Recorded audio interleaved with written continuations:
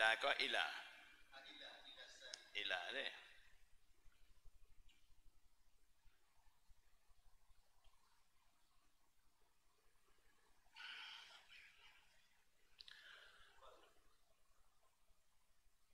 بسم الله الرحمن الرحيم.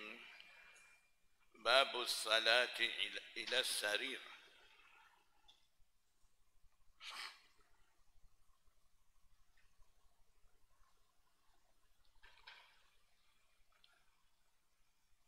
Bab berkenaan dengan sembahyang menghadap kepada katil. Katil tempat orang tidur. Menghadap kepada serir maksudnya serir itu dijadikan sutra eh, bagi orang sembahyang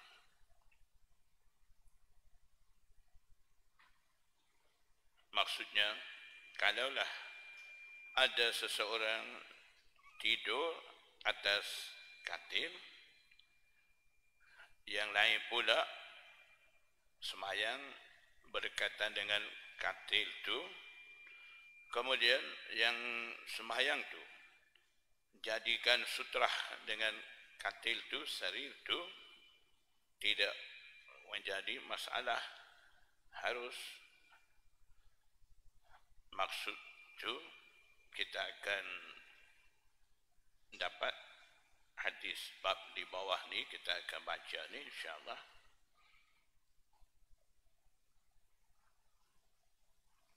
حدثنا عثمان بن ابي شيبه قال حدثنا جرير عن منصور عن ابراهيم عن الاسود عن عائشه قالت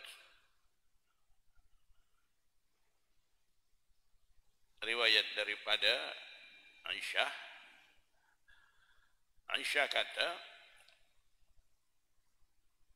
A'daltumuna bil kalbi wal himari. Kamu menyamakan kami kami maksudnya kaum wanita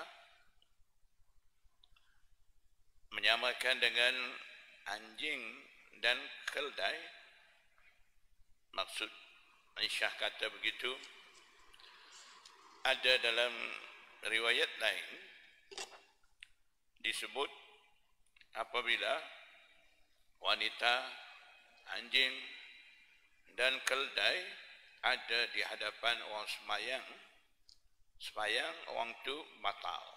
Ada eh, satu riwayat menyebut begitu. Jadi Aisyah radhiyallahu anha dengan kata-kata dia adal tumuna bil kalbi wal himar. Ni isyarat kepada riwayat tu. Maksudnya adakah kamu menyamakan kami kaum wanita bersama dengan anjing dan himar? Maknanya lagi di situ adakah kaum wanita ada di hadapan orang semayang tu batalkah semayang? Seperti mana anjing hima keldai lalu di hadapan orang semayang tu? Itu berdasarkan maksud eh, riwayat tu. Jadi uh, selepas ni kita akan buat kesimpulan dengan sebab adanya riwayat-riwayat menyatakan ada wanita di hadapan orang semayang di hadapan Rasulullah SAW sendiri Aisyah baring Nabi SAW semayang. Maknanya wanita ada di hadapan orang semayang tidak batal pula mengikut keadaan itu dan ada pula riwayat menyatakan anjing himar keldai lalu di hadapan orang semayang itu tidak batal sembahyang. Jadi agak bercanggah ha, riwayat di situ. Penyelesaian tu kita akan faham ha, daripada satu bab demi ha, satu demi satu bab Imam ha, Bukhari akan nyata dalam kitab dia. Di situ kita akan faham ha, penyelesaian penjelasan berkenaan dengan pencanggahan riwayat itu jadi disebabkan dah ada riwayat menyatakan wanita anjing dan keldai apabila ada di hadapan orang semayang tu batal semayang. Ha, di situlah Aisyah maksud dia. Adakah kamu menyamakan kami kaum wanita di bersama dengan anjing dan keldai? Sebenarnya tidak begitu. Laqad ra'aituni aku melihat diri aku mudtaji'atan 'ala sariri. Baring di atas katil fayaji'un nabiyyu sallallahu alaihi wasallam kemudian nabi sallallahu alaihi wasallam datang maksudnya datang berhampiran dengan sarir itu katil itu fayatawassatu ay yaj'alu wastan as-sarira fayatawassatu as-sarira ay yaj'alu as-sarira wastan Nabi sallallahu alaihi wasallam jadikan katil tu di tengah-tengah di hadapan dia. Ayusalli kemudian Nabi sallallahu alaihi wasallam semayang maksudnya semayang menghadap kepada sarir. Ketika itu ketika Rasulullah sallallahu alaihi wasallam semayang tu Aisyah radhiyallahu taala anha ada di atas katil tu dia baring atas katil tu. Kata Aisyah fa akrahu an asnahahu aku tidak suka bahawa aku muncul ataupun berada di hadapan Rasulullah sallallahu alaihi wasallam yang sedang semayang tu. Fa'ansallu min qibali rijli rijlayis sariri. Rijlai musanna rijlayis sariri. Maka aku menyelinap keluar. Pelan-pelan keluar dari arah kedua-dua kaki katil tu. Maknanya bagian eh, dia lunjur kaki tu kok tu pelan-pelan dia keluar turun daripada katil tu. Hatta salla min lihafi. Sehingga aku dapat menyelinap keluar daripada selimut bulu aku lihaf ha, selimut bulu.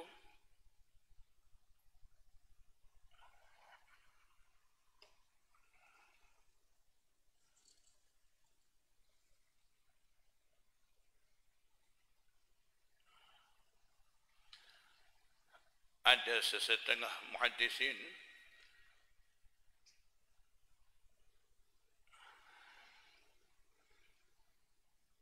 mereka ambil maksud bab salati ala sarir ila sarir terjematul bab tu mereka ambil ila bermakna ala ila tu mereka ambil makna ala jadi maksudnya bab salati ala sarir jadi semayang atas katil.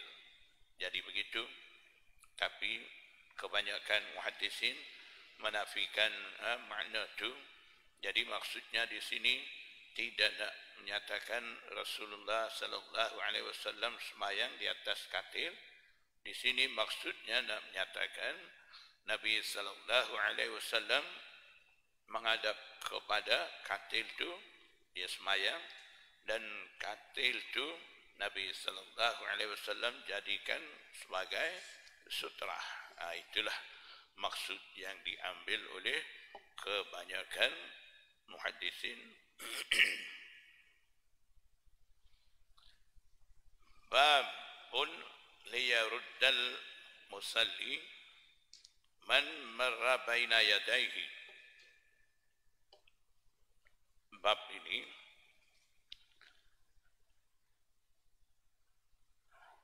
nyatakan berkenaan dengan hendaknya orang semayang tu menolak ataupun menghalang orang yang lalu lintas di hadapannya ha, di hadapan dia semayang tu ورد ابن عمر في التشهد وفي الكعبة وقال إن أبى إلا أن يقاتله قاتله illa yuqatilahu qatilhu boleh juga waradda bin Umar dan Abdullah bin Umar menolak ataupun menghalang menahan orang lalu lintas dalam keadaan dia tasyahud dan juga di Ka'bah. Ha, orang mau lalu di hadapan dia tu dia tahan tak bagi lalu. Waqala dan Abdullah bin Umar kata in aba jika orang yang lalu di hadapan orang semayang tu enggan maksudnya walaupun orang dah tahan dia dah larang dia dah isyarat supaya tidak lalu dia lalu juga illa ayyuqatilahu kecuali memerangi dia memerangi dia maksudnya menggunakan eh, cara macam mana pun eh, menahan dia supaya dia tidak lalu di hadapan orang semayang tu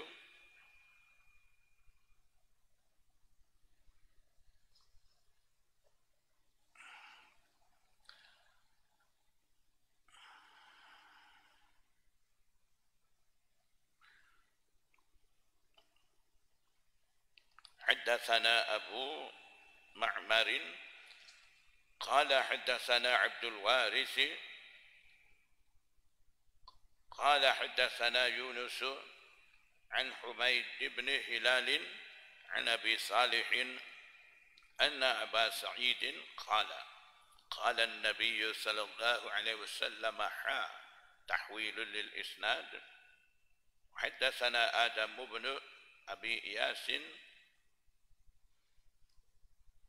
قال حدثنا سليمان بن المغيرة قال حدثنا حميد بن هلال العدوي قال حدثنا أبو صالح السمان قال رأيت أبا سعيد الخدري في يوم جمعة يصلي إلى شيء يستره من الناس. Abu Salih As-Saman kata, saya lihat Abu Sa'id Al-Khudri semayang pada hari Jumat kepada sesuatu yang boleh menutupi dia daripada orang ramai. Maknanya, syaik itu sesuatu itu menjadi sutrah bagi dia. Fa'arada syabun min bani abi mu'aitin maka syab. Pemuda pemuda maksud di sini Walid bin Uqbah. Dalam riwayat lain ada sebut syab pemuda daripada bani abi mu'ait. Itu yaitu Walid bin Uqbah.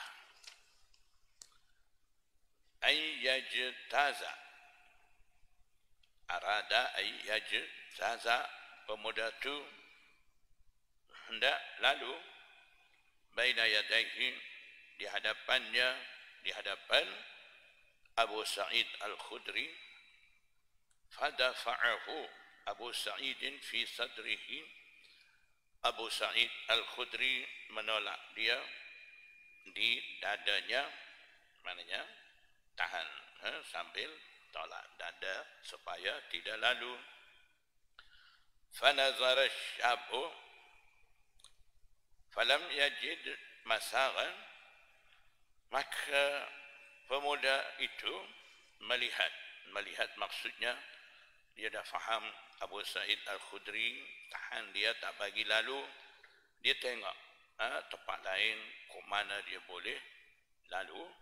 Falam yajid masaran dia pemuda tu tidak peroleh tidak dapat ruang yang boleh. Dia elak ha, lalu tempat lain tak, tak ha, jadi lalu di hadapan Abu Sa'id Al-Khudri semayang tu illa baina yadaihi tapi dia tidak dapat ha, ruang lain untuk dia lalu kecuali di hadapan dia. Maknanya hadapan Abu Sa'id Al-Khudri itu ya ada.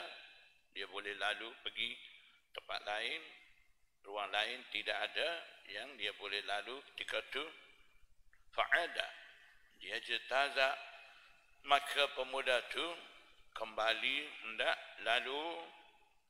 Di situ juga di hadapan Abu Sa'id Al-Khudri juga fadafa'ahu Abu Sa'idin asyadda minal ula maka Abu Sa'id Al-Khudri menolak dia menahan dia lebih keras ha, lebih teruk daripada kali pertama kali pertama ha, menahan dengan cara lembut mungkin kali yang kedua tu agak keras sikit ha.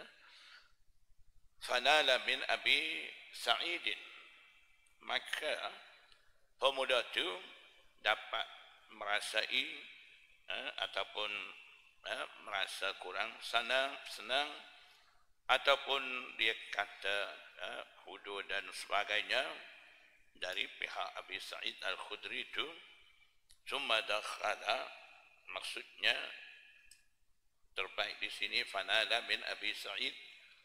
Pemuda itu merasa kurang senang daripada Abi Sa'id dia mau lalu tak ada ruang lain nak lalu situ juga. Abu Sa'id Al-Khudri tak bagi jadi tak senang bagi dia. Summa dakhala ala Marwana.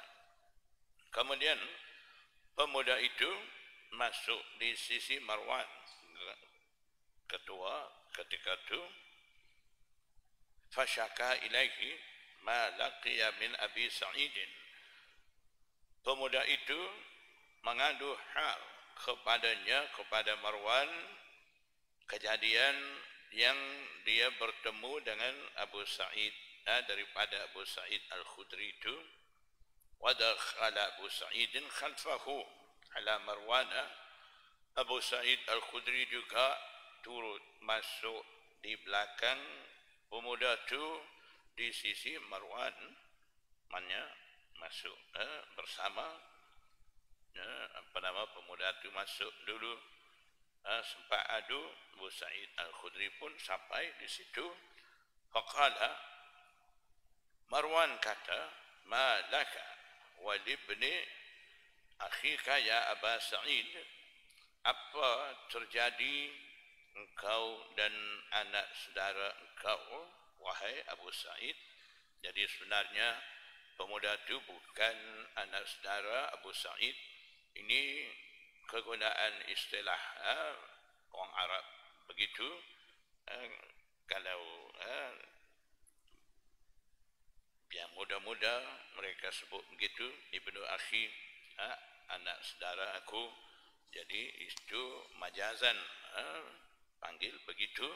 Jadi tidak ha, betul-betul dia tu anak saudara Abu Sa'id Al-Khudri itu tidak. Qala Abu Sa'id Al-Khudri jawab kata Sami'tun Nabiya sallallahu alaihi wasallam yaqulu idza salla ahadukum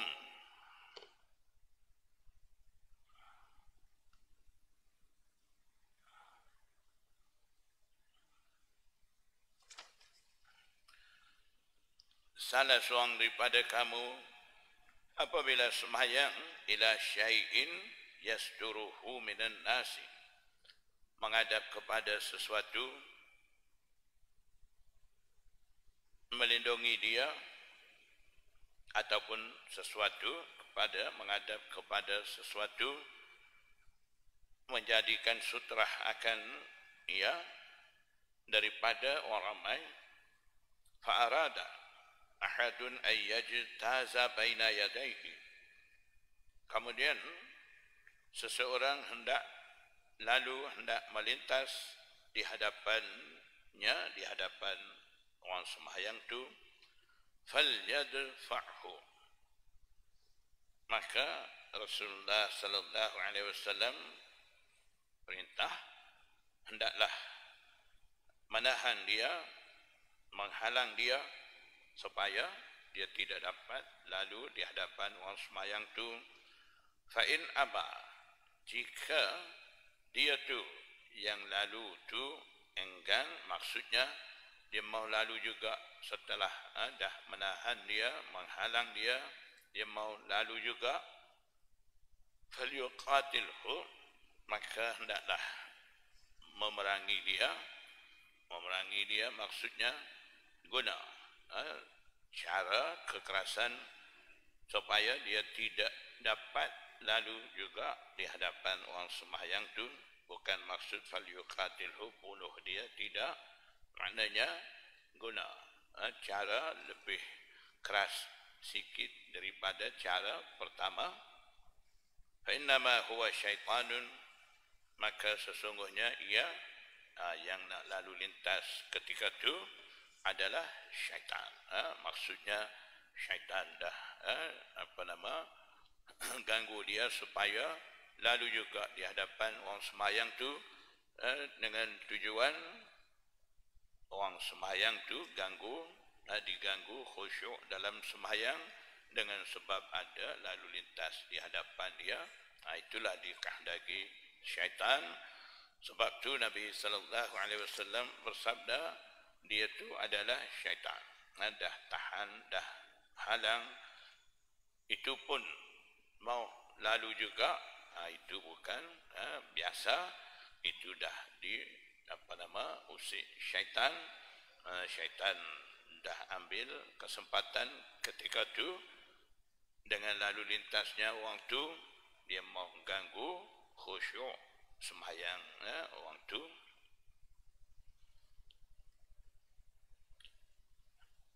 Berdasarkan dalam hadis tu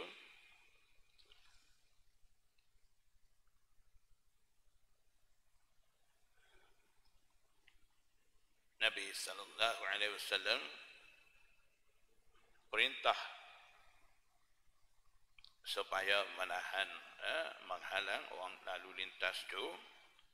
Ada perintah begitu dan begitu juga Imam Bukhari dalam terjematul bab ni liyarudda.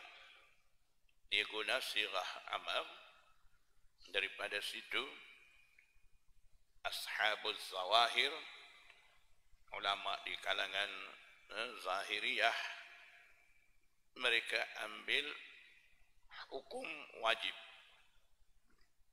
Wajib menghalang dia macam mana pun eh, walaupun terpaksa guna cara kekerasan tahan juga, halang juga dia supaya tidak jadi lalu. Ha, itu pandangan daripada ulama di kalangan mazhab zahiri. Dan di sisi ahnaf mubah harus ha, menahan menghalang orang mahu lalu lintas tu. Dan indah syafi'i wa Ahmad wa Malik di sisi Imam Syafi'i Ahmad Imam Malik di sisi A'immah salah satu mustahab eh, menghalang daripada lalu lintas tu. Jadi punca jadi khilaf di kalangan A'immah termasuk eh, dengan Zahiriyah tu punca daripada kalimah liyarudda eh, yang Imam Bukhari guna dalam terjematul bab tu sirah amar tu ada yang mengambil maksud uh, wajib. Jadi dia ambil di situ al amru lil wujub amar perintah di situ perintah wajib. Dan imam lain mereka ambil maksud amar di situ lil istihbab membawa maksud mustahab. Ha, itulah ha, beza ha, di situ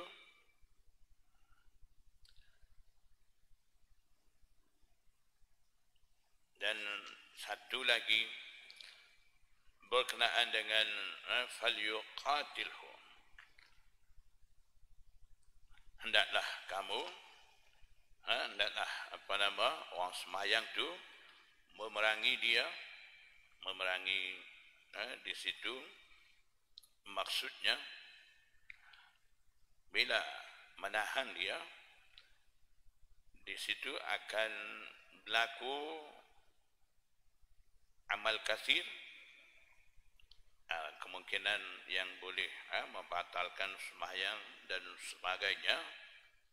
Jadi sebab tu ulama ahnaf kata yang Rasulullah SAW benar menghalang dengan apa sahaja cara uh, yang sebut dalam hadis tu itu hukum pada masa di mana Rasulullah SAW masih belum larang lagi amal kasir dalam sembahyang tu. Masa tu, maknanya ketika mana masih harus lagi eh, bergerak eh, dalam sembahyang, bercakap, jawab salam boleh ketika sembahyang, eh, ketika tu Kemudian daripada itu ulama Ahnaf kata apabila turun ayat wa qumu lillahi qanitin ay sakinin ha? bila turun ayat itu katanya ulama Ahnaf hukum ha? yang Rasulullah SAW perintah walau apa cara sahaja walaupun terpaksa guna cara kekerasan halang juga hukum tu dianggap mansuh di sisi ulama Ahnaf dan di sisi ulama Malikiyah mereka ambil maksud fal yuqatilhu hendaklah memerangi orang lalu lintas di hadapan orang semayang tu itu maksudnya kutuk perbuatan dia ha, bukan ha, nak menghalang sampai berlaku gerak uh, dalam sembahyang dan sebagainya tidak uh, begitu. Maksudnya kutuk. Kutuk maksudnya tidak setuju tidak suka dengan perbuatan yang dia lalu di hadapan orang sembahyang tu. Itu maksud diambil oleh ulama malikiyah bagi kalimah fal yuqatil hutu dan kebanyakan ulama jumhur ulama pula mereka ambil maksud fal yuqatil huni menahan dia menghalang dia selepas daripada selesai sembahyang tu. Maknanya bagi peringatan tambih ha, bagi peringatan kepada orang lalu di hadapan orang sembahyang tu supaya dia tidak buat lagi ha, amalan perbuatan seperti itu disebabkan ha, mau menghalang dengan apa nama menolak ha, dan sebagainya dalam sembahyang itu takutnya berlaku amal kasir yang boleh ha, membatalkan sembahyang. Ha, itu maksudnya di sisi mereka bagi peringatan ha, supaya dia tidak lalu lagi di hadapan orang sembahyang itu lain kali jadi dengan cara itulah diambil maksud bagi fal yuqatil hutu.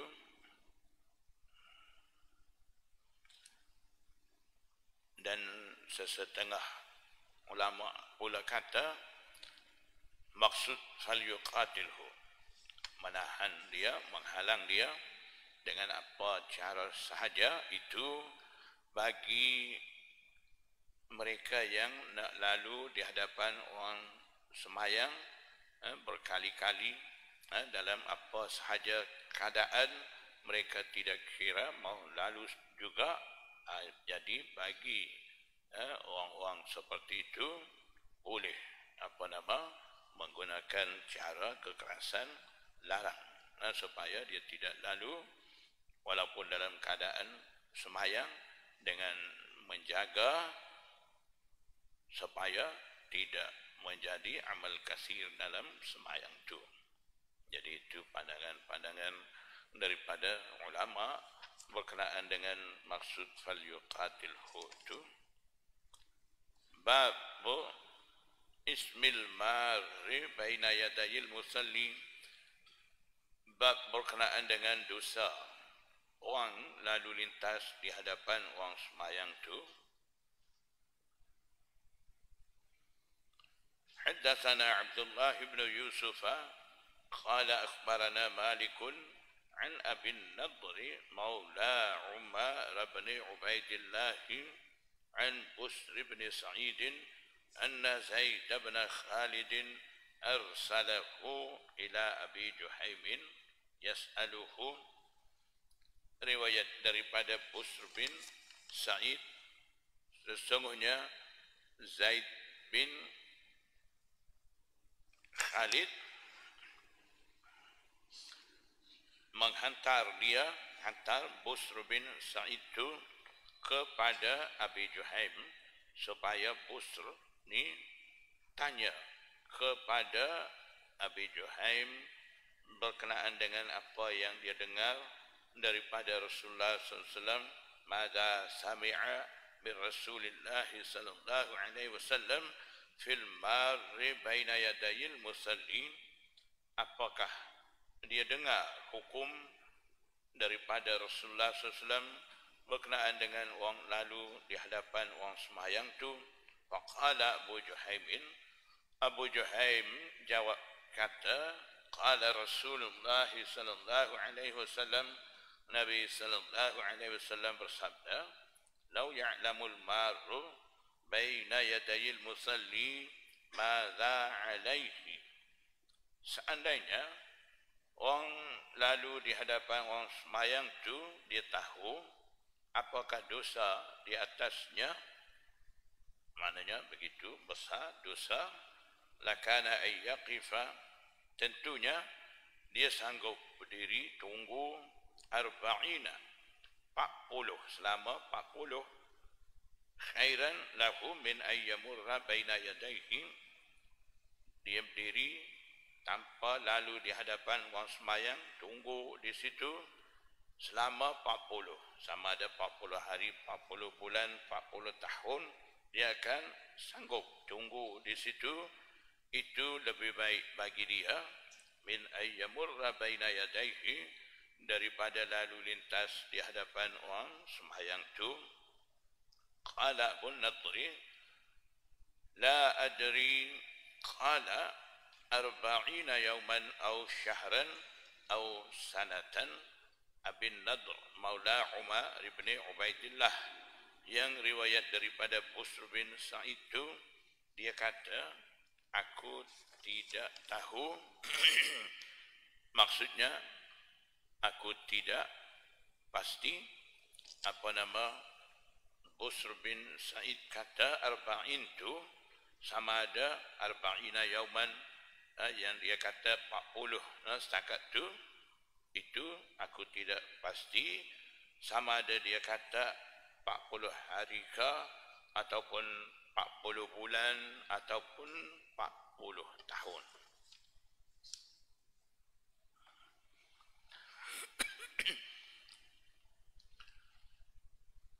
dalam riwayat lain riwayat dalam musnad bazar di situ ada sebut arba'ina kharifan ay sanatan 40 tahun ha? walaupun dia terpaksa kena diri tunggu orang tu sudah semayang baru dia nak lalu kena tunggu tu sampai 40 tahun pun dia akan sanggup ha? tunggu di situ dan dalam riwayat Sunan Ibnu Majah dan juga dalam riwayat Sahih Ibnu Hibban riwayat daripada Abu Hurairah. Di situ ada sebut mi'ata'am 100 tahun. Walaupun dia kena puasa kena tunggu 100 tahun sekalipun dia akan sanggup tunggu. Ha? kalaulah dia tahu betapa besarnya dosa lalu lintas di hadapan orang semayang tu. Jadi maksudnya hadis ni bukan nak menyatakan bilangan hari bilangan tahun tu tidak. Maksud sebenar yang hendak menyatakan dalam hadis ni banyaknya dosa ha, lalu di hadapan orang semayang tu. Ha, kerana terlalu besar, terlalu banyak dosa lalu lintas di hadapan orang semayang tu orang faham ha, dosa tu besar dia tu sanggup tunggu tak berani mau lalu di hadapan orang semayang tu jadi maksudnya nak menyatakan besarnya dosa ha, lalu lintas di hadapan orang semayang tu. Jadi kalau nak lalu lalu lintas ha, di hadapan orang semayang tu jauh sikit. Ha, lalu di hadapan dia tu jangan ha, apa nama ha, lebih kurang jarak dekat tepat di mana orang semayang tu nak sujud ha, celah tu jangan lalu. Jadi lebih kurang tiga hasta ha, itu apa nama sukatan bagi sutrah tu ha, lebih daripada tu tak apa ha, maknanya di hadapan orang semayang lebih kurang tiga hasta ha, atas ha, lebih pada tu tak apa lalu jangan terlalu dekat ha, sampai tempat dia nak sujud tu pun lalu juga ha, itu dilarang. Ha, tak boleh itu dosa.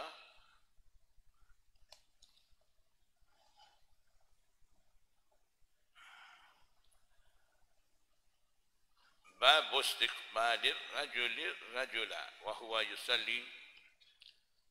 Bab ini berkenaan dengan menghadap seseorang kepada orang yang sedang sembahyang orang sedang sembahyang ada orang lain pula menghadap eh, dengan orang sembahyang tu sama ada dia duduk di hadapan orang semayang tu eh, ataupun eh, dia bual-bual di hadapan eh, orang semayang tu.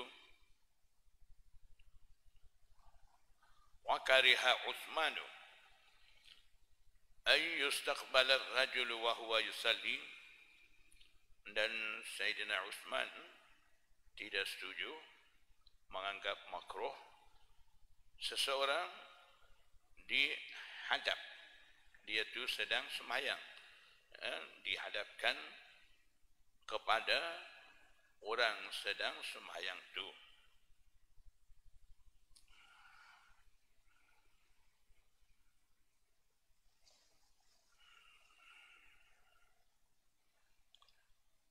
وهذا إذا اشتغل به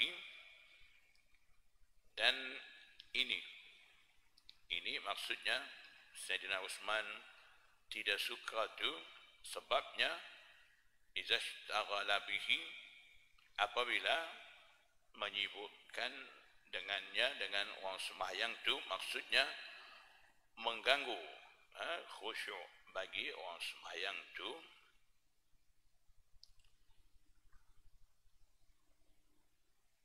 jadi wahada izashtaghala bihi daripada jumlah itu Imam Bukhari menyatakan karahah yang dianggap oleh Sayyidina Uthman itu eh, apabila ganggu orang semayang itu eh, dalam khusyuk semayang orang itu ketika itu jadi tumpuan orang semayang itu akan ada kepada orang yang ada di hadapan dia.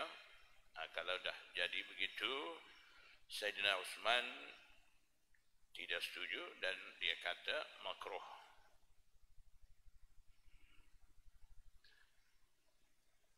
Fa'amma idza lam yashtaghil bihi maka adapun apabila tidak memasyghulkan dengan dia maksudnya tidak eh, tumpuan orang semayang tu tidak ada dengan orang yang ada di hadapan dia. Kalau begitu faqad qala zaid bin thabit zaid bin sabit kata jadi pandangan eh, zaid bin sabit pula kata ma balaitu.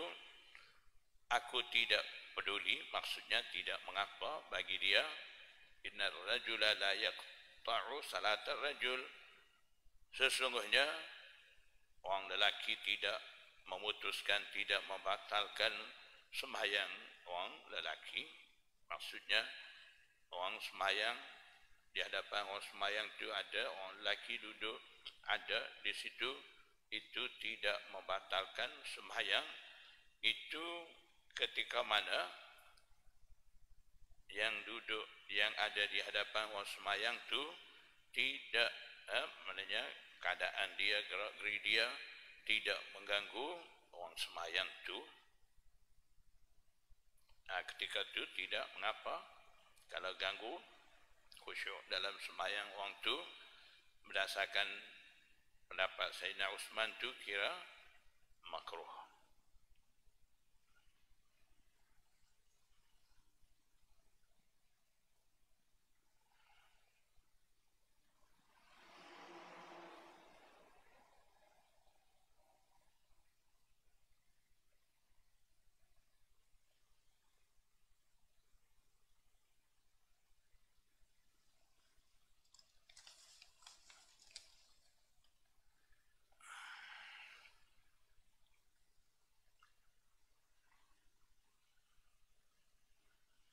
حدثنا إسماعيل بن خليل قال أخبرنا علي بن مسهر عن الأعمشي عن مسلم عن مسروق عن عائشة أنه ذكر عندها ما يقطع الصلاة riwayat daripada Aisyah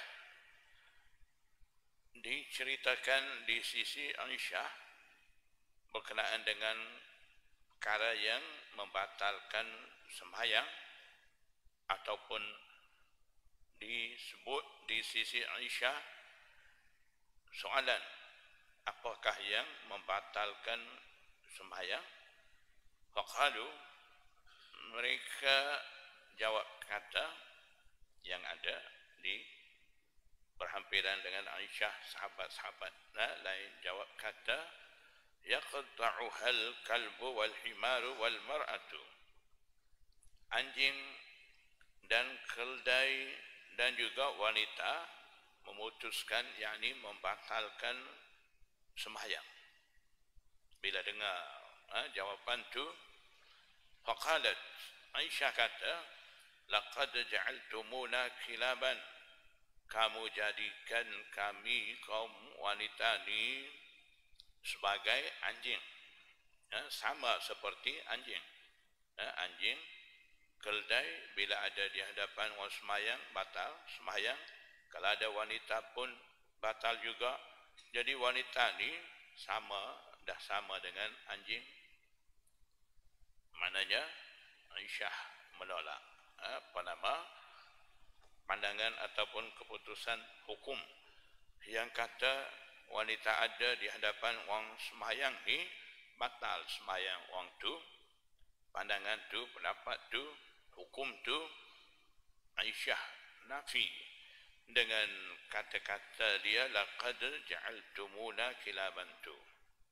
Kemudian dia hujah ha, kemudian dalil pandangan dia yang kata yang dia nak kata wanita ada di hadapan orang semayang ni tidak batal sembahyang. Jadi dia bagi tahu laqad ra'aitun nabiyya sallallahu alaihi wasallam yusalli Nabi aku lihat Nabi sallallahu alaihi wasallam sembahyang wa inni labainahu wa bainal qiblatin sesungguhnya ketika itu aku berada di hadapan Rasulullah sallallahu alaihi wasallam dan di di antara kiblah wa ana mudtaji'atun. Sedang aku baring ha, di hadapan Rasulullah sallallahu alaihi wasallam ala sariri di atas katil. Jadi di sinilah tepat apa nama Imam Bukhari mau istidlal ha, apa nama ijtihad dia. Cuba kita tengok balik sekejap ijtihad dia. Bab istiqbalir rajulir rajula wa huwa yusalli. Menghadap ha, seseorang kepada orang yang sedang semayang. Maksudnya ada orang di hadapan orang semayang tu ha, harus boleh ada ha, itu tidak menjadi masalah bagi orang semayang tidak membatalkan semayang orang tu. Jadi di sini sekarang ni Aisyah yang ada di hadapan Rasulullah SAW semayang nah, itu di situ dia mau dalilkan istihad dia. Cuma ada sedikit eh, perbezaan maksud eh, terjematul bab istihad Imam Bukhari itu dengan eh, apa nama hadis bab. Bezanya dalam terjematul bab ini lelaki yang ada di hadapan seorang lelaki yang semayang. Dalam hadis itu yang ada di hadapan orang semayang ni bukan lelaki Aisyah wanita. Jadi tak sama apa penyelesaian di situ. Yang tidak sama tu muhadisin kata kalaulah wanita ada di hadapan orang semayang tu maknanya Aisyah ada di hadapan Rasulullah SAW semayang tu. Nabi SAW teruskan semayang eh, dan tidak kata dah batal semayang dia dia semayang semula ke ataupun bagi peringatan kepada Aisyah supaya lain kali tidak boleh ada di hadapan orang semayang. Nah, itu akan batal semayang dan sebagainya. Tidak ada teguran daripada Rasulullah SAW itu bermakna wanita ada di hadapan orang semayang tidak membatalkan semayang orang lelaki. Kalau begitu lebih-lebih lagi kalaulah lelaki ada di hadapan lelaki lagi tidak batal. Ha, di situlah cara ha, begitulah cara ijtihad. Ha, Imam Bukhari dia istidlal dengan cara begitu. Fatakunu li liyal hajah ketika Rasulullah SAW sembahyang menghadap kepada katil yang aku sedang tidur sedang baring di atas katil itu aku mempunyai hajah. Maksudnya ha, dia nak turun ha, nak keluar pergi daripada katil itu wa akrahu an astaqul bilahu. Dan juga aku tidak berapa suka apa nama aku menjadi apa nama menghadap eh, kepada Rasulullah sallallahu alaihi wasallam.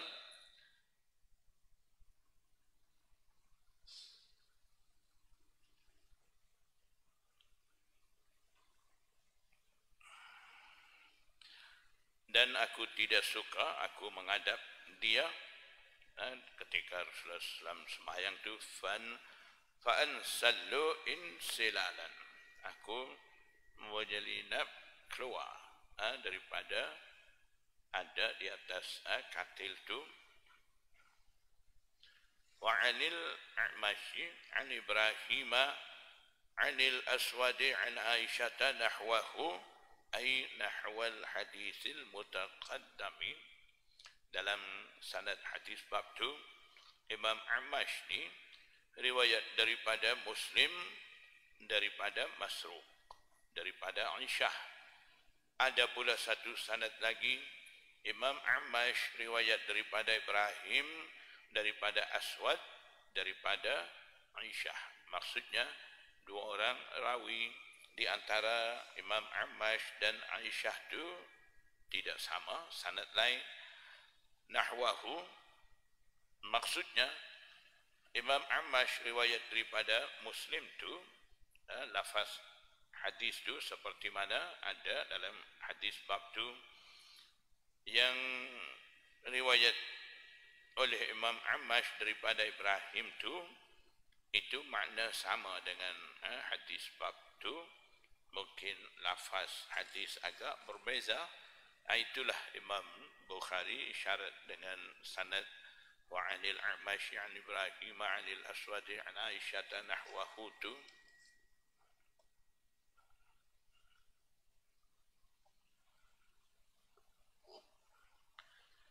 Jadi maksudnya riwayat hadis bab Imam Amash riwayat daripada Muslim tu itu ha, riwayat uh,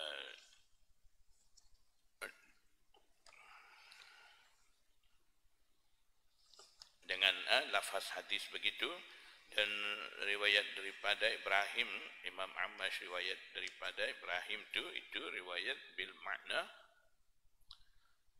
babus salati khalfan naimi bab berkenaan dengan sembahyang di belakang yang tidur. Eh, orang sedang tidur. Di belakang orang tidur tu ada orang sembahyang. Boleh ataupun tidak.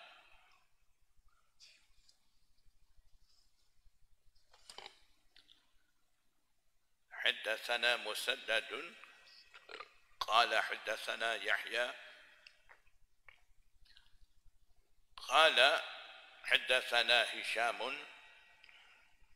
قال حدثني أبي عن عائشة قالت كان النبي صلى الله عليه وسلم يصلي رواية ربادة عيشة جوكا عيشة كانت نبي صلى الله عليه وسلم سمعيا وأنا راقدة أي نائمة.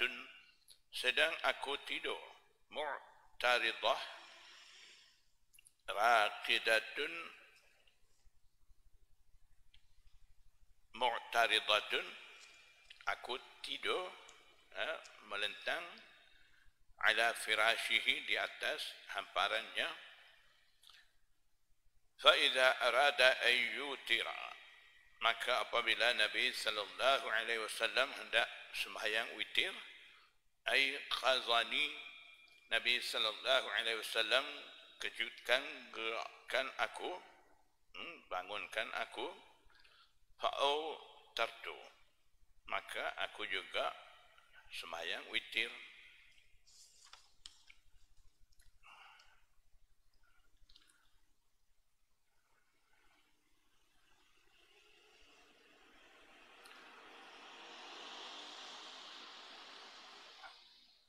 Dalam riwayat ini ada menyatakan Nabi sallallahu alaihi wasallam sembahyang di hadapan Rasulullah SAW tu Aisyah tidur dalam riwayat Abu Dawud ada juga satu riwayat menyatakan la tusallu khalfan naimi walal mutahaddisi jangan kamu sembahyang di belakang orang tidur dan juga di belakang orang sedang berbual-bual. Jadi ada yang hadis larang dan ada pula Rasulullah SAW sendiri sembahyang eh, ada orang tidur di hadapan dia. Jadi disebabkan itu di sisi Imam Malik dia kira semayang eh, dengan adanya orang sedang tidur di hadapan orang semayang tu kira makruh makruh ketika tu akan diambil maksud makruh tanzihi disebabkan ada larang daripada Rasulullah SAW kemudian ada pula Nabi sallallahu alaihi wasallam sendiri buat pula ha, yang larang tu. Kalau begitu mengikut kaedah ha, di sisi fuqaha makruh di situ akan diambil maksud makruh tanzihi tidak tahrimi makruh tanzihi syu'batum minal jawas. Ha, makruh tanzihi ini kira satu cabang daripada harus ha, harus ha, ada orang tidur di hadapan orang semayang tu cuma makruh tapi di sisi jumhur a'immah eh, mereka kira tidak makruh harus eh, boleh ada orang tidur di hadapan orang semayang tu. Jadi daripada uslub terjematul bab Imam Bukhari dan hadis bab yang Imam Bukhari bawa tu dapati Imam Bukhari juga menyokong pandangan jumhur ulama dan dalam bab ni Imam Bukhari agak bercanggah dengan Imam Malik dan Imam Bukhari juga sabitkan di sini harus uh, adanya orang tidur di hadapan orang semayang tu ataupun orang semayang uh, di belakang orang tidur tu. Jadi riwayat Abu Dawud yang mana la tusallu khalfan naim wa, uh, jangan semayang uh, di belakang orang semayang tu akan diambil maksud uh, apabila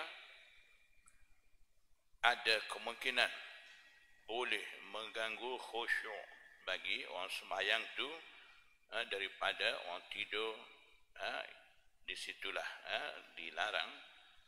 Ganggu maksudnya boleh jadi orang tu semayang di belakang orang tidur tu.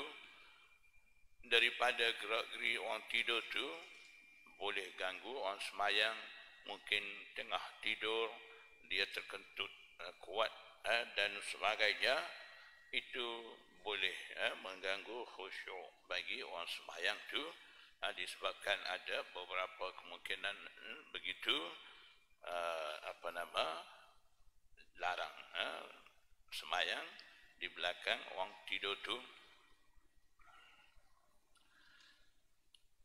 cuma di sini satu lagi kita mau faham macam mana Imam Bukhari dia sebut dalam terjematul bab ni babus salati khalfan naim. Sembahyang di belakang orang tidur.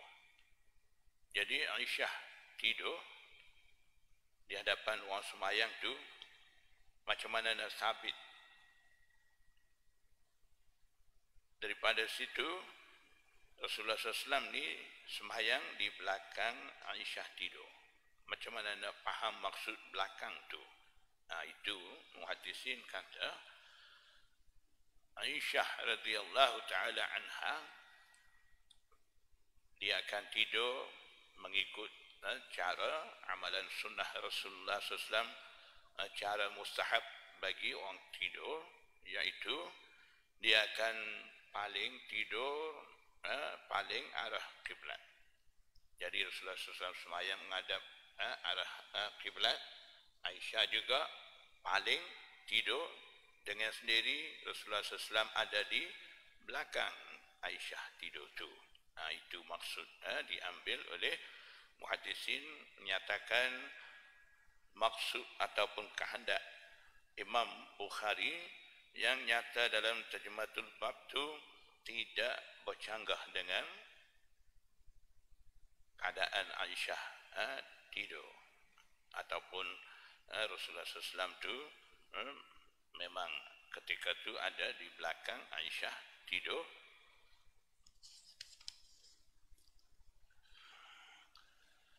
Satu lagi daripada potongan hadis bagian akhir hadis faiza arada ayyutira ay qazani fa'autartu di situ. Apabila Rasulullah sallallahu alaihi wasallam hendak semayang witir, dia kejutkan Aisyah. Eh, Aisyah juga semayang witir. Daripada situ, ulama Ahnaf kata, potongan akhir hadis ni menjadi dalil bagi mereka berkenaan dengan semayang witir tu wajib. Ha, di sisi Ahnaf ni, semayang witir tu wajib tidak semayang witir setiap malam selepas isya itu dosa ha, kerana semayang witir tiga rakaat satu salam. Ha, kita dua rakaat satu salam, satu rakaat lagi satu salam. Ha, Hanafi cara dia tiga rakaat satu salam. Ha, seperti mana kita semayang maghrib begitu. Dan rakaat akhir tu, rakaat yang tiga tu, bila sudah baca fatihah dan surah, ketika tu angkat takbir Allahu Akbar, letak balik tangan, di bawah pusat ha, Hanafi tahta surah bawah pusat Syafi'i fauqa surah di atas ha, pusat letak balik tangan hmm, tepat dia kemudian akan baca kunut ketika itu tapi kunut dia beza tak sama dengan kunut subuh. Ha, kita baca tu kunut dia ha, ada satu khusus agak panjang juga. Jadi ulama ahnaf kata potongan akhir hadis ni menjadi dalil bagi ahnaf berkenaan dengan semayang witir itu wajib. Macam mana dia kata wajib tu? Nabi sallallahu alaihi wasallam ketika dia semayang malam semayang tahajud dia tidak ha, gerak ha, tidak kejutkan Aisyah supaya bangun semayang tahajud dan sebagainya. Ada riwayat lain hmm, kita akan baca selepas ha, daripada ni. Aisyah tidur di hadapan Rasulullah SAW semayang dan Aisyah kata kedua kakinya lunjur uh, di bahagian hadapan Rasulullah SAW di arah kiblat tu bila Rasulullah SAW nak sujud Rasulullah SAW cuit kaki aku aku tarik ha, kaki dia supaya ada ruang Rasulullah SAW boleh sujud di situ. Jadi maknanya ha, Aisyah tetap tidur bila Rasulullah SAW bangun ha, berdiri kiam tu Aisyah letak balik ha, kaki dia. Jadi maknanya ulama Ahnaf kata ketika semayang tahajud keadaan Aisyah begitu masih ya, dia tidur sedang tidur tapi bila Rasulullah SAW nak semayang witir, panggil dia, dia pun bangun uh, semayang witir tu. Jadi daripada situlah ulama Ahnaf kata semayang witir tu wajib. Nabi panggil juga Aisyah semayang witir. Uh, ketika semayang tahajud ni tidak panggil, uh, tidak suruh bangun uh, semayang tahajud. Jadi itu menunjukkan semayang tahajud ni tidak wajib, sunat, mustahab. Uh, itu dalil daripada ulama Ahnaf ha, berkenaan dengan mereka ambil keputusan apa nama semayang witir itu wajib di sisi mereka